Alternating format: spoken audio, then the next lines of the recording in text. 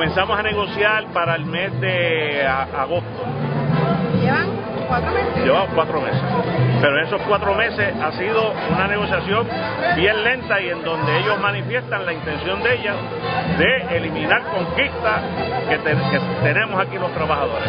La, la, razón que estamos aquí es sencillamente porque hemos, nos hemos encontrado con un comité negociador que lo que se ha dedicado es intentar no de negociar con nosotros, sino de quitarnos ya beneficios adquiridos que esta unión ha logrado por más de 30, 40 años, como horas semanales, que nosotros ya tenemos garantizadas las 40 horas semanales que por ley se establecen, nos quieren, nos quieren rebajar esas horas, nos quieren rebajar eh, los días por enfermedad, nos quieren rebajar vacaciones, no han querido todavía, después de cuatro meses de negociación, no han querido negociar nada económico con nosotros, ni las aportaciones al plan médico, y nosotros entendemos que ya esto es absurdo. Ya llevamos cuatro meses y no hemos negociado absolutamente nada. Lo que estamos es defendiendo derechos adquiridos.